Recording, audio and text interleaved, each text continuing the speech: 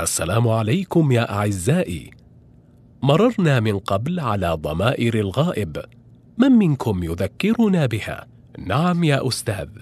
الضمير هو نستعمله للحديث عن المذكر الغائب والضمير هي نستعمله للحديث عن مؤنث الغائب. نعم أحسنتم. وقد يتصل الضمير هو بالاسم المفرد فنقول هو طبيب. هو مهندس.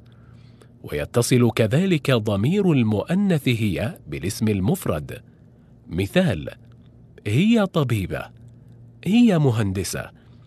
ولاحظوا معي التاء المربوطة التي تأتي في آخر الاسم المؤنث فقط. تعرفنا في هذا الدرس على اتصال الضمير الغائب للمذكر هو والضمير الغائب للمؤنث هي بالاسم المفرد.